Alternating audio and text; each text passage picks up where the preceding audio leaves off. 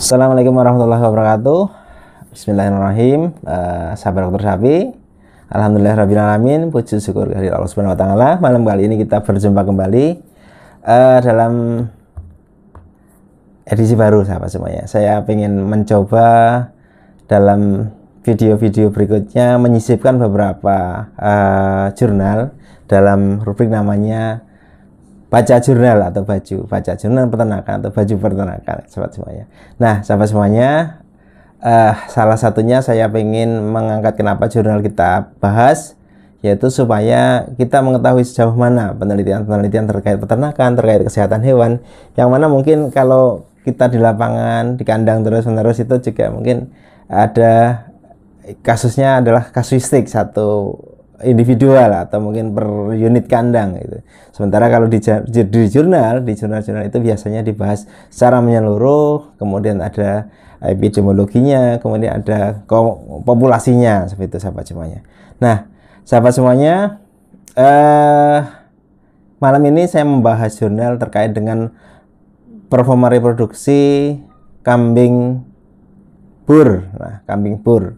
Kambing bur sendiri di Indonesia sudah cukup familiar yaitu kambing untuk potong badannya kekar kemudian memang produktivitasnya tinggi karkasnya bagus daging dagingnya banyak uh, memang posturnya cukup pendek sahabat semuanya. Nah sehingga banyak peternak-peternak yang pengen mengawinkan atau sampai saat ini banyak yang menghendaki pengen uh, perkawinan antara bur dengan uh, bangsa-bangsa kambing potong lainnya. Nah gitu karena apa? Karena kalau kambing bur sendiri yang asli itu uh, full bloodnya itu harganya sampai belasan juta atau mungkin uh, hampir hampir hampir 20 juta, 25 juta yang jantan.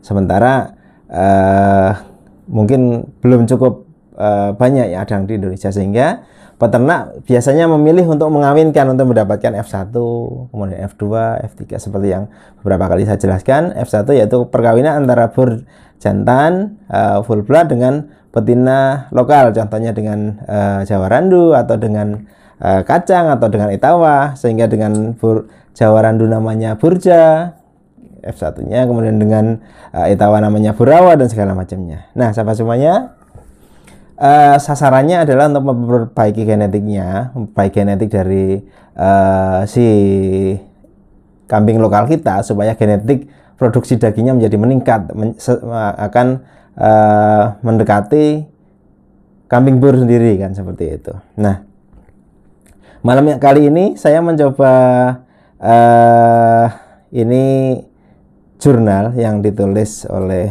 Pak Nugroho dan kawan-kawan yang ada di Universitas 11 Maret yang judulnya adalah uh, performa reproduksi atau reproduction performa rate dari kambing bur uh, dibandingkan dengan yang F1 crossnya seperti itu sahabat semuanya. Nah, uh, yaitu tujuannya melihat se sebenarnya seberapa jauh uh, apa namanya perbedaan, apakah terjadi perbedaan antara uh, performa reproduksi kambing bur yang murni dengan kambing bur yang dia uh, sudah keturunan filial pertama, filial kedua dan segala macamnya. Nah, penelitian ini di, dilakukan di sebuah perusahaan yaitu di Jawa Timur uh, mengambil datanya dari Januari 2012 sampai 2015. Nah, hasilnya seperti apa sahabat semuanya? Hmm, kita lihat bahwa hasilnya uh, sesuai dengan tabel yang saya tampilkan kambing pur uh, induk pur dan F1 pur ini indukannya memiliki performa uh, yang berbeda-beda dari liter size. Liter size itu artinya jumlah anak. Dari tahun 2012 sampai 2015, kambing pur indukan dia memiliki liter size 1,7, kemudian 1,5, 1,5, 1,5. Rata-rata 1,5. Artinya setiap uh, beranaknya kadang satu bisa dua. Jadi 1,5 1,7 seperti itu. Tetapi F1 dari eh, bor dan lokal itu hanya 1,2, 1,4. Kemudian 2014 1,4 dan baru di 2015 1,5 seperti itu sahabat semuanya. Sehingga memang secara eh, tampilannya jumlah anaknya bur murni jauh lebih tinggi dibandingkan dengan bur yang sudah silangan. Nah, baru di tahun 2015 uh, ini hampir sama 1,53 dan 1,511. Kemudian kidding interval yaitu jarak antar kelahiran. Uh, induk bur sendiri dia jarak antar kelahirannya sekitar uh, 0,8 tahun, 0,8 tahun atau sekitar 9 bulan, 9 sampai 10 bulan. Sementara yang F1-nya uh, keturunan pertamanya 0,7. Nah, ini uh, di terakhirnya di 2014 2015 hampir sama. Jadi jarak antar kelahirannya antara Bur dengan keturunan pertama Bur dan lokal ini tidak berbeda jarak antar kelahirannya.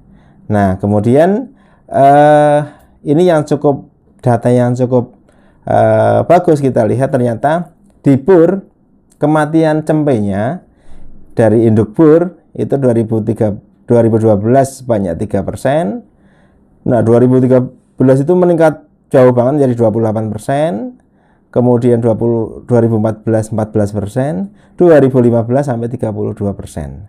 Nah, kemudian yang silangan ini 8 persen, kemudian 25 persen, 18 persen sampai 43 persen. Artinya apa, sahabat semuanya?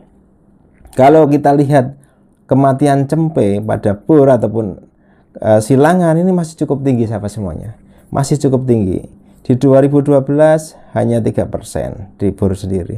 Tetapi di 2013 masing-masing itu sudah di atas 25%. Kemudian di, di 2015 sendiri bahkan di atas 32% sampai 43%. Artinya kematian cempe yang begitu tinggi ada masalah ter, ada masalah uh, tertentu yang memang harus ditangani siapa semuanya. Nah, mungkin uh, jurnal yang akan datang kita akan membahas tentang apa saja penyebab kematian cempe pada uh, kambing seperti itu. Nah, sahabat semuanya, kemudian performa reproduksinya seperti apa? Performa reproduksi rate-nya eh, ternyata yang bur itu angkanya 2,1 sementara yang silangan F1 1,5 atau 1,6.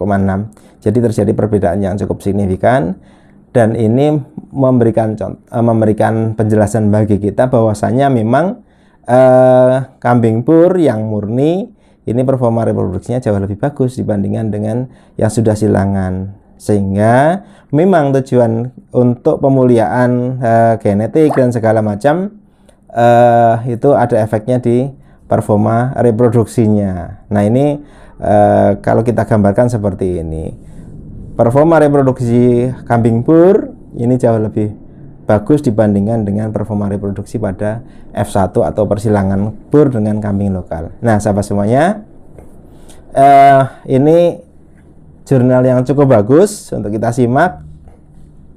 Artinya, eh, mungkin di persilangan ternak apa pun akan terjadi seperti itu. Kita menghendaki kualitas genetik bagus dari bur sendiri, eh, kemudian eh, disilangkan dengan genetik lokal kita pasti ada efek negatifnya. Ya, di situ salah satunya eh, di persilangannya ini eh, ada terjadi perbedaan eh, liter size ya, terjadi perbedaan liter size dan yang kedua adalah performa reproduksinya. Performa reproduksinya berbeda sang cukup signifikan. Yang murni, yang full blood, yang masih bur murni ini uh, reproduksinya uh, cukup bagus. Sementara yang F1 sudah di bawahnya dari uh, yang murni. Nah, sahabat semuanya, dan catatan yang paling penting adalah kematian cempenya masih cukup tinggi. Di tahun 2013 yang BUR 28%, yang F1-nya 25%. Uh, kemudian di 2015 ini terjadi kematian cempe yang BUR sampai 32%, kemudian yang silangan sampai 43%. Nah, sahabat semuanya, uh, mungkin seperti itu kita akan bahas nanti selanjutnya terkait dengan kematian cempe nah kebetulan di buku yang saya tulis ini juga saya uh, telah menulis di Lampung sendiri bahwa persilangan bur dan jawarandu menjadi pilihan peternak yang ada di Lampung ini salah satunya. Nah, ini kita harus hati-hati karena efek jangka panjangnya kalau sudah F1 kemudian F2, F3, F4 itu nantinya akan terjadi pergeseran eh, performa reproduksi. Nah, sahabat semuanya, eh, mudah-mudahan ini bisa menjadi informasi buat kita semuanya bermanfaat bagi peternak kambing yang ada di Indonesia. Kita akan lanjutkan uh, baca jurnal peternakan atau baju peternakan di edisi-edisi berikutnya. Sekian, Assalamualaikum warahmatullahi wabarakatuh.